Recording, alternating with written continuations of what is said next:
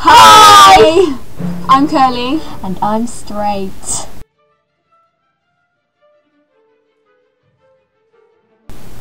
The word flamingo comes from the Spanish and Latin word flamenco, which means fire. Flamingos are most closely related to grebes.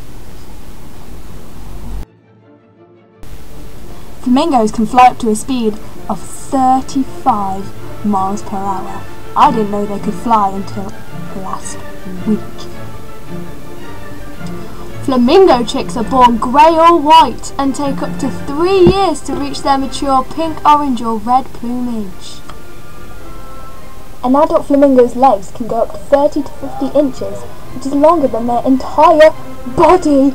Oh my golly gosh!